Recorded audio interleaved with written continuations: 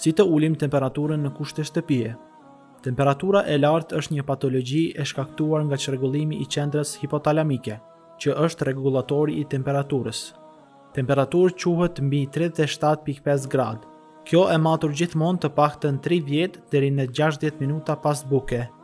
Dhe i njëjti hark kohor duhet edhe pas një aktiviteti të sforcuar fizik.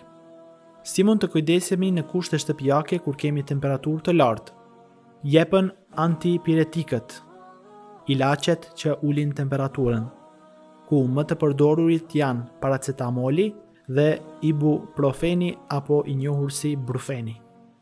Antipiretikët jepen mbi temperaturën 38.2 gradë, gjithmonë sipas këshillës së mjekut dhe duke respektuar rigorozisht kohën e veprimit të medikamentit, ku në të shumtën e rasteve është katër deri në gjashtë orë. Sidomos tek fëmijët duhet të respektuar me përpikmëri.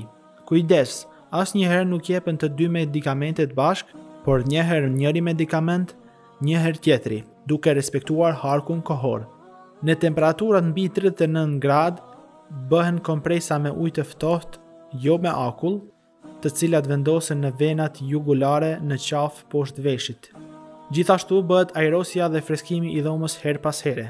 Në rastet me temperaturë të lartë, bëhet banjë me ujë të vakët jo të nxehtë, ku temperatura e ujit duhet të jetë 2-3 gradë nën temperaturën e trupit dhe banja duhet të zgjasë derisa të ulet temperatura. Temperatura e ujit matet me termometër ose, në mungesë të tij, nëna mund të përdorë bërrylin e saj. Tek fëmijët e vegjël, nëna mund të bëjë mbështjelljen e bebit me një çarçaf të lagur. Në kushte shtëpie mund të përdorim edhe uthull.